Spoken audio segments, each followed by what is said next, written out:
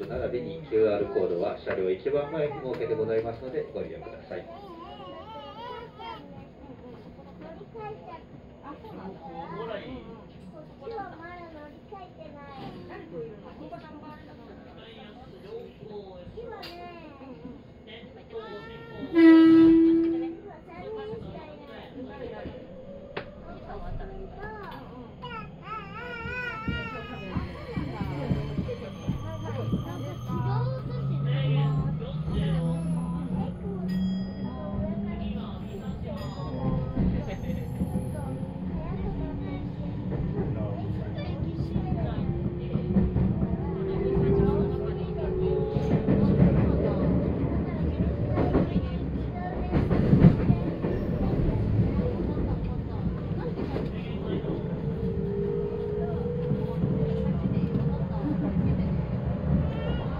お待ちどうさまでした。平日祭列車の2便、三河町駅です。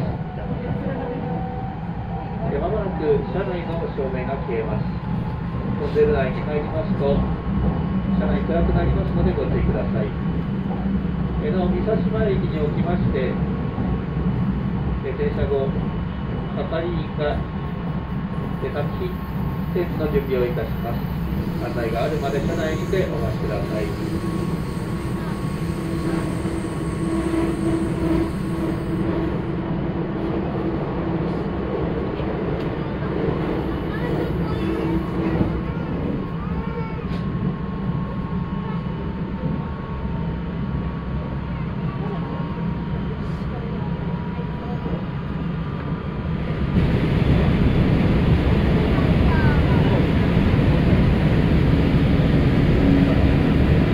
線が開通してからここは夏休みまあそういうスタートです開通してこれはまだ途中上です触った時にねすいませんなくて歩行線が開通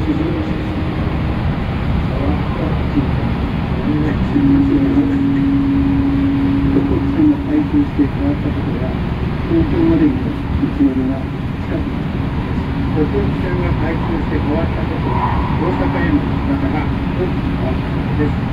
東京に行くのがすごく強くなります。約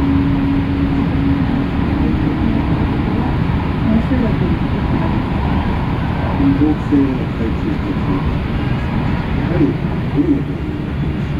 東京方面にそうですね。そういう鉄道ですから、電車がないと生活にも困りますし、逆に開通して、ね、あることで生活が成り立つこともある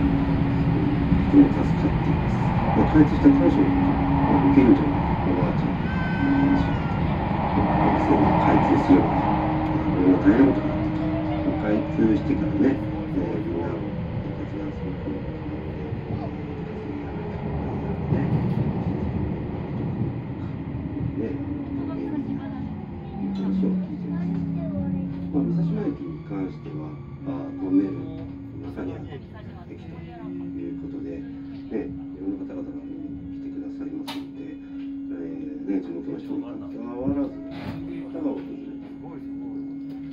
え黒い係員が、えー、作品展示の準備をいたします。車内にて少々お待ちください。町の学校に通っていたので、冬でも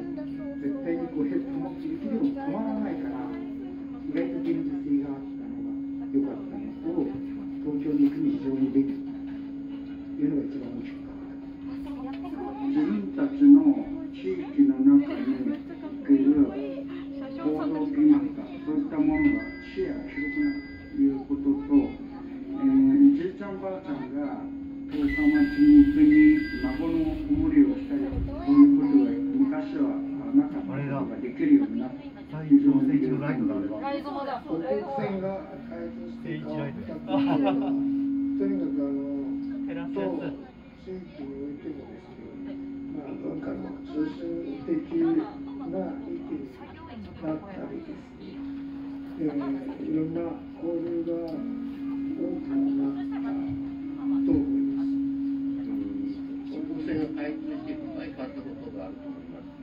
つには、え隣の南魚沼との交流が大きくなってきた。で、昔この地域の、小浜地域の高等学校って、この地域の人たちだけの生徒それが今や例えば総合高校だったり中東の中には南大間の子どもたちや大沼の子どもたちがいっぱい来てるだから一つの、うん、教育の面では同じ地域という認識を作り上げてくれたのが一つ。だもう一つは東京に出る手段がもう圧倒的に北線になります。昔檜山線の時代は一応カールってとこに出てここから上越線に乗って東京に行きますとっても、まあ、不便良かったんですが北線ができたことによってもう北線は、え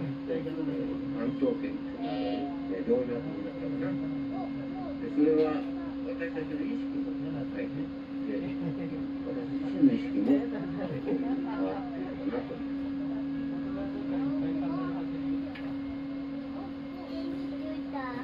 お待たせいたしました。先点の準備が整いました。えーホームの方にお進みください。車両前と後ろ同じ作品がご覧いただけます。ホームの方にお進みください。なお、ホームの赤白の線には入らないようお願いをいたします。